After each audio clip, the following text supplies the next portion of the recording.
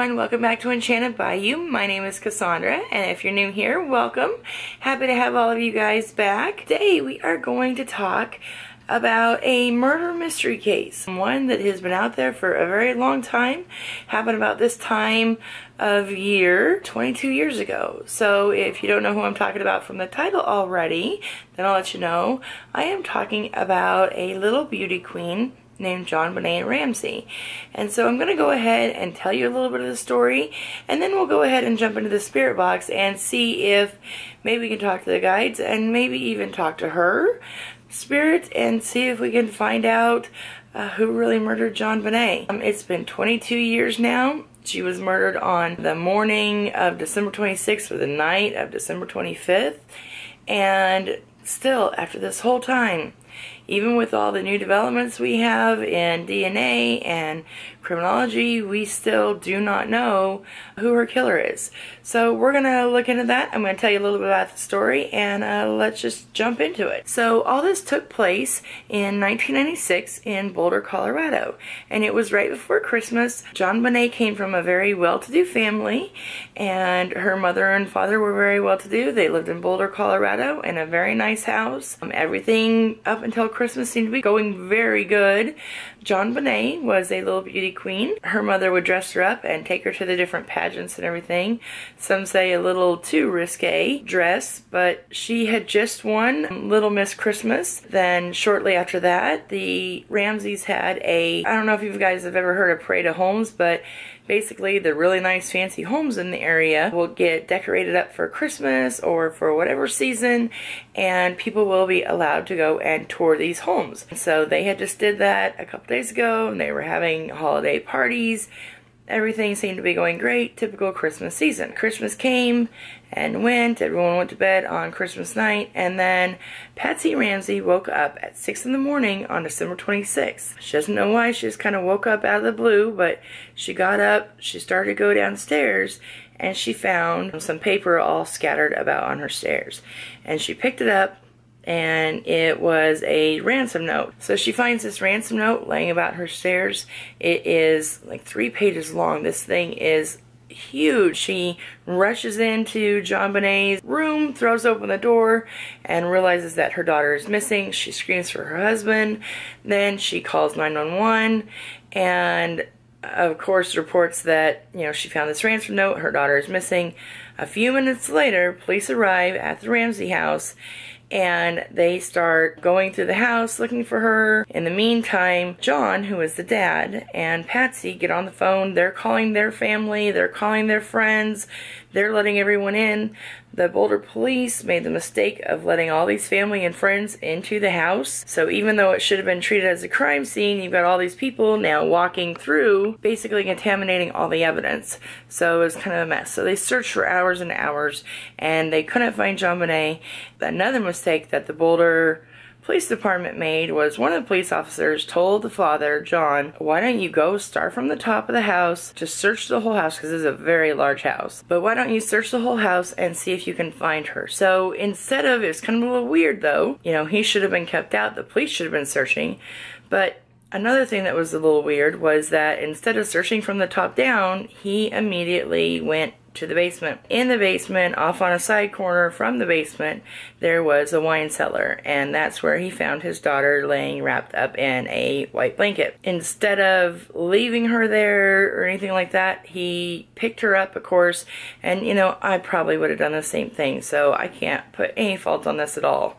I would have grabbed my baby up. So he picked his baby up, he carried her upstairs to the living room, and the police checked her and found out that she was indeed dead. Okay, so here's where the story gets really, really crazy. They just found out that John JonBenét is dead, which is kind of strange that someone left a ransom note even though they had murdered the victim. And then it just turns into a mess. Basically what had happened, they found that someone had used a stun gun on her. There is evidence of a possible sexual assault. It appears that she took a like hard blow to the head. Maybe she was knocked down or possibly hit in the head. There was some talk that she was hit in the head so hard it would have had to been with like a, a heavy object and there was a heavy flashlight that could have inflicted the same blow. At the crime scene, but that wasn't really tested because there were so many people around, so there's some controversy over the flashlight. The other thing, though, is the reports that I found, and from what I've seen, it said that she was knocked out in the head and then like an hour and a half, two hours later, that she was actually later killed with a murder weapon that was made from a paintbrush that came from, get this, Patsy, which is her mother, her mother's painting kit. Uh, so they actually found that the the true murder weapon was from the mother's painting kit. It was made from one of her paintbrushes.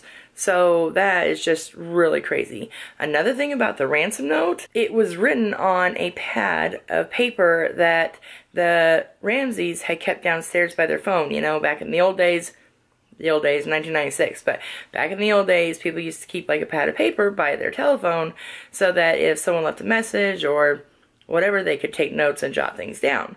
And so the ransom note was actually written on that paper. So that seemed a little strange too, especially such a long ransom note. Who sits down and takes the time in the house when you're kidnapping someone to write a three page ransom note? I mean, that is just bizarre. Another thing too about this ransom note, not only was it written on the pad of paper from the Ramsey's house, but they had um, a handwriting analyst review all of the the ransom note and they were able to exclude John completely, but they couldn't exclude Patsy. So a lot of the same handwriting techniques that she used in her writing were the very same that was on the ransom note. Now, I also watched a documentary where they were looking at even more of this evidence, and a newer handwriting analyst was reviewing this, and it said that it looked like from what he tell, a man was dictating basically to a female what to write in this note based upon what was being said in it and then how it was coming across. So I'm not a handwriting expert. I don't know how you can tell all that from a note. It seems like a lot, but hey, that's what they do. That's their job. So I'm going to go with that. That's the new evidence out there. Now, why do we think maybe that John, the father, and Patsy, the mother, were possibly the murder suspects in this? Well, First of all, there were no signs of a break-in into the house. And second of all, when the cops said that they wanted to question them and, you know, rule them out as suspects, the Ramseys did not want to talk at all. They did not want to talk to the police. They lawyered up really fast. In fact, as soon as they found JonBenét was dead, they were actually from Atlanta, Georgia. And John actually called his private jet and the pilot and wanted to book a trip back to Georgia, back to Atlanta. If it were me personally, I would be, I'm not going anywhere. I want to find whoever hurt my child. But while she is there still at the house, Dad, your baby girl is dead. He's calling his pilot and they're starting to lawyer up. Now, when they did finally talk, they talked to CNN. They didn't go to the police.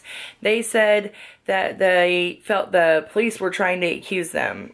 Well, yeah, because you're not talking to the police. But they didn't go to the police or anything. They went and they did an interview on CNN for the whole public to see instead of working with the police. A lot of people were also angry and pointing the fingers at them because when they did speak to the media, it wasn't coming out and you know, everyone has different reactions, but you would think that since their child had just been murdered, that they would be coming out and crying and demanding that this person be caught, and instead, they were coming out and instead of being uh, upset over their daughter, it seemed more in the media that they were upset that they were being treated badly by the press, they were being treated badly by the police department. The focus was not on finding who killed JonBenét. And that's what a lot of people said. I've never been in that situation. I thank the Lord that I've never been in that situation. I don't know how I would act, but I would think that I would be out there wanting the person who killed my daughter found and caught, as well as many Americans and actually people all the world, all around the world felt that they would feel the same way, not being angry at the police and the press and and not cooperating with them. I mean, if you are completely innocent, why wouldn't you cooperate on helping catch this guy out there before maybe he does something else. So another couple of things that made people look at John and Patsy as possibly the killer of JonBenét uh, was in the ransom note. It requested a very specific amount of money. The amount that the ransom note to get her back was for was $118,000. Now that's a lot of money, but they had a lot more money. So one, why wouldn't any killer ask for like a million dollars? You know, they, they probably could have came up with something along those lines. And two, what's really weird is that this 118,000 just so happened to be the amount of John's recent bonus that he had gotten from his company. So someone had to know how much he was making it work. So that seemed a little weird too. A couple other things that were strange. They it had actually snowed because in Boulder there's actually a lot of snow usually around this time of year and there were no tracks in the snow that would that they believed would be someone breaking into the house. Now other people have gone over this as evidence and said in the backyard there's not a lot of snow anyway, but you would think that there would be some tracks left in the snow that they would have found if someone broke in the house. Uh, the police said that the window that could have potentially been the break-in point if there was one, because there was a broken window that was downstairs in the basement where she was found, but that it was too small for a person to crawl through. And I'll, I'll get into that in a little bit here because they really messed up on that one. One other little key piece of evidence too, or not key piece of evidence, but key suspicion, I guess you could say, is that when the police officer made the mistake and told John that he could go through the house and look for his daughter, he almost immediately went to her body. I mean, this is a huge, huge house, okay? Police officer mentioned, you know, start from the top, work your way down. Uh, he found her in the basement. He went almost immediately to her. And this is after searching for several hours, of course, just to be able to walk immediately to the basement in this wine cellar that was kind of a couple doors off of the main basement area and find her that quickly uh, just caught everyone's eye as a little suspicious. Now, as far as whether or not they did it, here's something that does seem a little strange. They did keep their story the same the entire time. Now, they might have come out feisty. They might have not wanted to cooperate with the police. They might have felt that the police were on a witch hunt to basically accuse them. But they kept their story straight the entire time, and one thing that they did do is they hired a private homicide investigator to check into the situation. And this man was supposed to be the best. And they had the money, of course, to hire the best. And his name was Lou Smit. And remember how I told you about that window that the Boulder police said, oh, no one can get through that window? Lou Smit actually just went and showed everyone, and he had it recorded, that he can climb in and out of that window. And there's also a picture from the crime scene that no one seemed to notice, but underneath that broken window was a suitcase. And so someone could have put that suitcase there to hop right back out that window when they were done kidnapping her, if that was their intent. So they hired this investigator who is, you know, one of the best around, who comes up with all this amazing evidence that the police didn't catch. If you're guilty and they killed their daughter now, there's a lot of stuff that points them, but if they were guilty and they did this, why would you go out and hire the best investigator? But they did, like I said, a lot of things that were kind of crazy. You know, why wouldn't you cooperate police? So there's just really no understanding on what their actions were and why why they did that. Now, as far as who else could have been the killers, they looked for a long time. And they they didn't have enough evidence to convict. However, there was DNA on JonBenét's um, underwear and also on her little leggings. And at the time, DNA just wasn't all that good as far as the testing and everything else. So, unfortunately, there wasn't much found from that, and still today we don't have a lot from that. Not enough to go on and find out who's in the system. I saw one report saying the little bit of DNA that they found, that could have been from the guy who in another country that that makes those underwear. I guess it's possible. I don't know a ton about DNA stuff. If you guys know, maybe you can let me know a little bit better. But I did see one report talking about that. So that just seemed a little crazy to me. But as far as the DNA, as of today, they are still testing it and running it and trying to match it up with someone.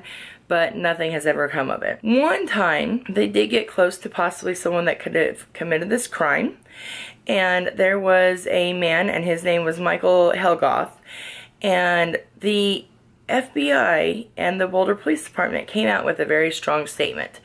And they said they were limiting the search down, that they basically had all the facts of to who this person could be and that soon everyone else would be eliminated except that person and that person basically should be worried because they're going to find him. They said the only person that's going to be left is you on the list. As far as Michael Helgoth goes, this gets a little crazy too. So we're not just going to start with his suicide. So his suicide happened 24 hours after the FBI came out with that statement. The FBI and the Boulder Police came out with that statement. But going back a little further, his co-workers at this junkyard actually overheard him say that he always wondered what it would be like to, sorry it's graphic, but bash another human being's skull in, and that he had a special deal that would be coming up where he was going to make a lot of money. And he said like 50, 60,000. That's kind of weird because, you know, of course the ransom note's 118, so why is he saying 50, 60,000? But not long after he said that and all that happened, then JonBenét turned up dead. Now, when the FBI and Boulder Police came out with a statement saying that they are close to catching whoever did this, within 24 hours, he was dead. Now, officially, it was ruled a suicide, but there are a lot of things that don't make sense. Some of the criminal investigators nowadays have looked into the old pictures and found two sets of footprints in the Ramsey basement. Now, this gets a little crazy but they say that it's two male footprints and that there are possibly two male killers or two killers, okay? I don't know about this. Here's my thoughts on this theory. They just, the Ramsey family just recently had a whole bunch of people, I mean, possibly even up to 2,000 people, view their home and their Christmas decorations, doing the parade of homes where people go through your home like I talked about. Also, when they found JonBenét Ramsey dead, remember they called their family, they called their friends, you had all the cops there. So, could those boot prints be from anyone else? Absolutely. I don't think the Boulder Police was very great at doing their job. Did they take those before the whole fam those pictures before everyone started walking through the house and the whole family started walking through the house? I don't know. But there's a theory out there that there are two killers and that they left the two different boot marks, okay? Now, from the new data that we have, Michael Helgoth actually owned a pair of shoes. They were called Hi-Tec. The footprint in the basement actually had the same logo, Hi-Tec, on it.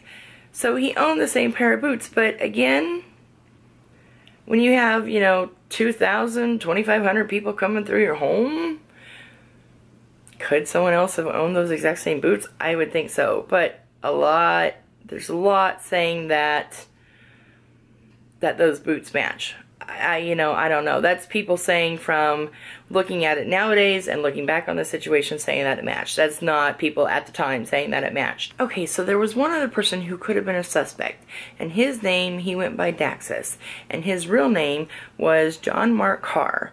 And this man started sending these really crazy emails to a professor at the local university who was very much into investigating JonBenét's case and trying to help and work with the police. And he started sending letters like how much he loved her, how he had been following her beauty pageants, how her murder was an accident, and he can, he fully confessed to the murder. So the police set up this crazy sting operation. He was actually in another country, and the police set up this crazy sting operation, arrested him, but the DNA cleared him. So now where do we go? We've got the parents, we've got a messed up investigation from the Boulder police. We've got tons of tainted evidence. We have Michael Helgoth, who maybe committed suicide, maybe not. We've got some crazy guy from halfway across the world emailing that he murdered her. So we need to get to the spirit box and figure this out. Now, there's a lot more to this case that I'm not going to get into. I mean, I could probably talk about this for hours you know but if you're more interested in it you know you can there's a ton of documentaries out there you can go check them out. But i just want to give you a brief rundown of the people who were the main suspects and see if we can talk to the spirit box and talk to my guides and talk to see if we can get even JonBenét's spirit to come through and see if maybe we can hear names like Michael Helgoth and see if he was the person who you know committed this murder or John Mark Karr, or was it her parents? Now her mom actually has since passed. Uh, her mom had cancer and passed from cancer.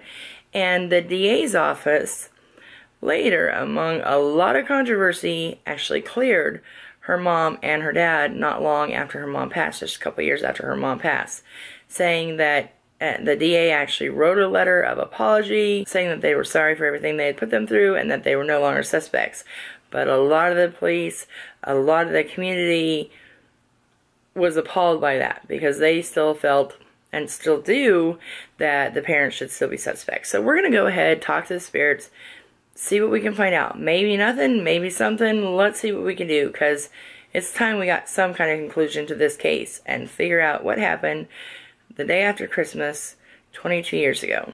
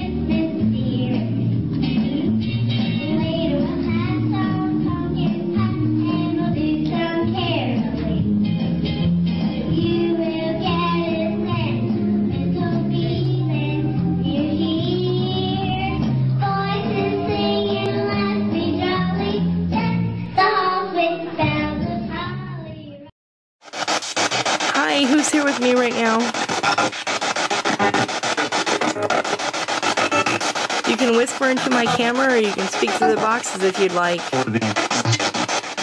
Ethan and E, are you there?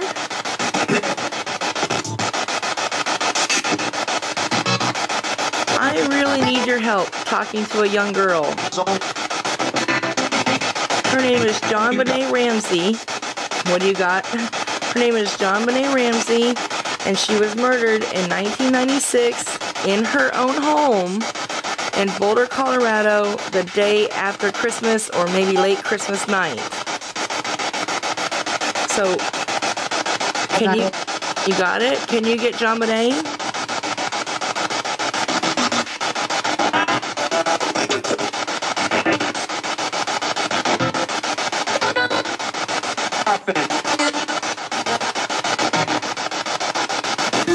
JonBenet, when you're there, can you say hello?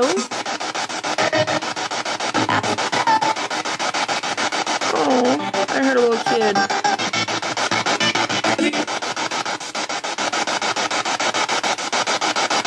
Okay. I want to only speak to my guides and JonBenet right now. It's very important. JonBenet, can you tell us if you know who killed you? Do you know who killed you?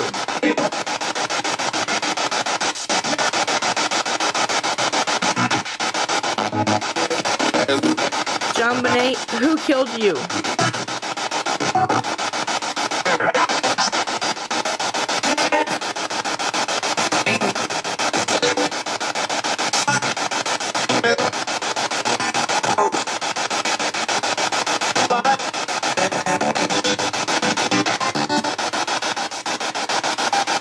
JonBenet, did your parents have anything to do with your murder?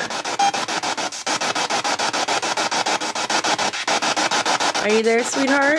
Did your parents have anything to do with your murder?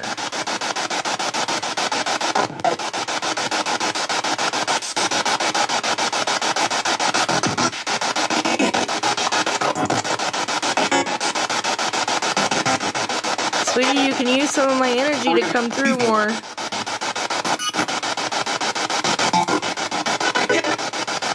Just JonBenet and my guides, no one else. Stop it.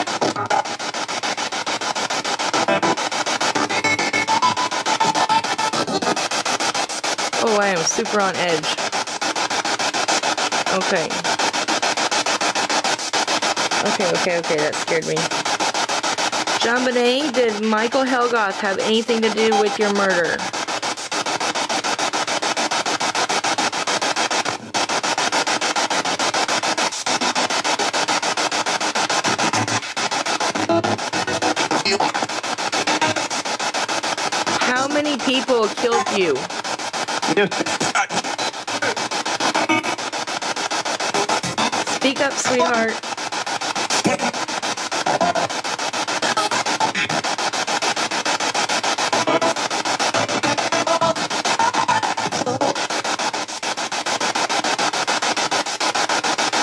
There? Where'd you go, dear? JonBenét, we all want to know, how are you doing now? How are you?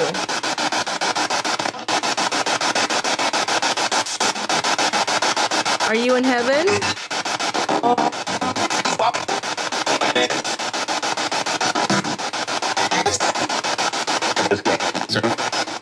Oh my gosh, I keep hearing a little kid voice. I knew I would, but ugh.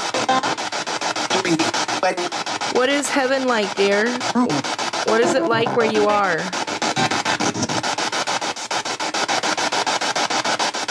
Can you tell us what it is like where you are?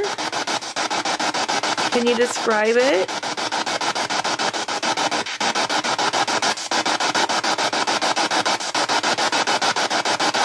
What does it look like, dear?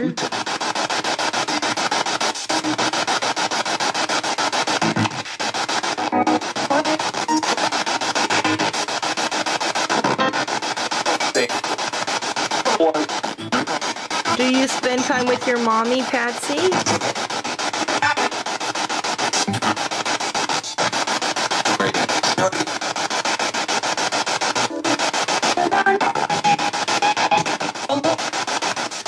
Just in case it wasn't clear, I'm going to ask you one more time.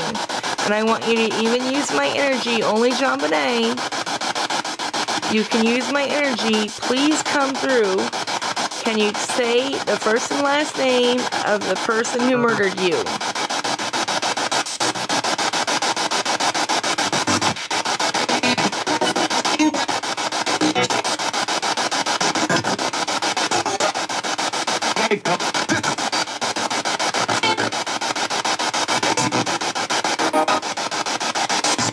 Did John Mark Karr have anything to do with your murder? Okay, I'm going to use another spirit box. Okay. Okay, this is going to sound really strange, but I keep seeing my shadow because of course I have lights on, everything like that, so you guys can see me better. But I'll see my shadow and I'm like jumping like if I'm in a cemetery or something really spooky. And I, you know, I, you guys have seen my videos. I invite spirits over all the time. If anything becomes a problem, then I go through and I do a huge cleansing on my home. Um, I'm feeling really antsy right now and really jumpy and really just like shook. Um, I wish I could explain it. So we're going to do the other spirit box and we'll go from there. But oh my gosh, I'm like even out of breath. Um, this is weird. I feel like I'm out alone in a cemetery. I haven't done that in a long time, but I just feel really shooken up. And I've done, talked to people who have been murdered before, but I don't know what what's quite going on tonight.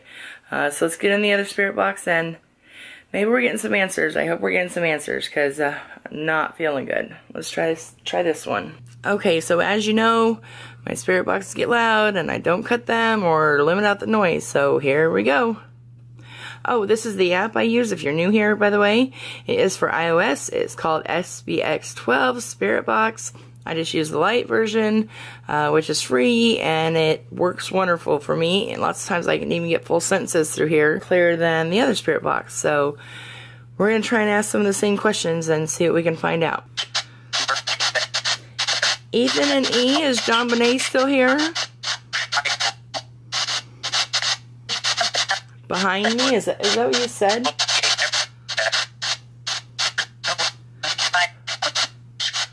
Who's behind me?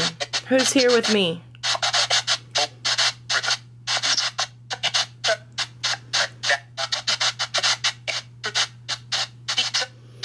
Okay. No one is allowed to be here except my guides and JonBenét. Ethan, is JonBenét still here? Okay. JonBenét, dear, can you tell us how you are doing now?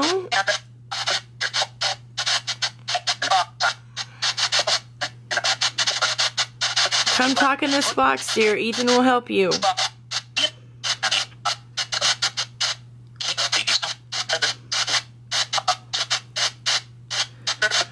JonBenét, can you tell us, dear, who killed you?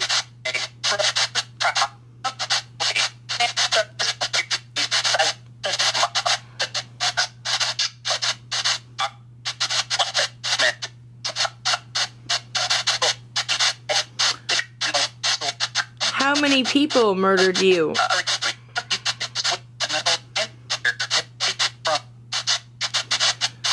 Can you say all their names?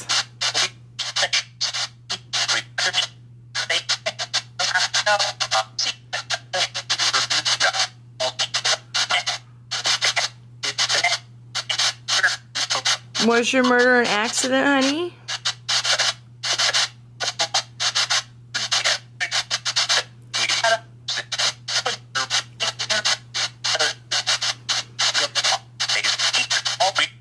Millions and millions and millions of people have been so concerned for you and so worried about finding you justice. Do you have any messages for them, dear?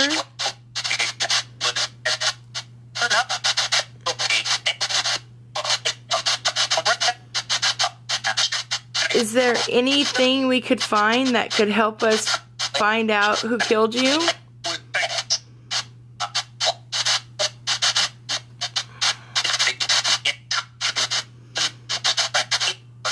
Okay, thank you for coming and talking to me, sweetheart. Bless you and you take care of you. If you need to stay around here for a while, you're welcome to do that, okay? Okay, if you want to stay around here, you're welcome to do that. I have a little girl, and she would probably love to play with you if you want to hang around for a while, but it's just JonBenét. That's all who can stay here. So hopefully we got some answers. I don't know what was going on before when I don't know, my heart was racing. Um, I caught my own shadow and I jumped. It was crazy. And it was right after I told her that she could use some of my energy, but I don't think it was her using my energy. Uh, so after I clarified that and said I just want to talk to her, I started feeling a little bit better. So I am doing okay. Hopefully we got some good answers. All my videos are reviewed by me and a specialist, so anything we hear will be throughout the video. Anything extra that you hear, please leave it in the comments below. Would love to hear from you guys. Uh, let me know who you would recommend, you know, similar to this, like murder mystery case, that we could talk to next. I'm going to be trying to throw these in along with some of the other stuff that we're working on and see what we can find out. So make sure to like this video, subscribe, share with your friends. We're growing like crazy. Keep it up. You guys are doing awesome. And check out the Patreon too and become part of the family at patreon.com slash enchantedbyu. Love you guys, and I will see you soon.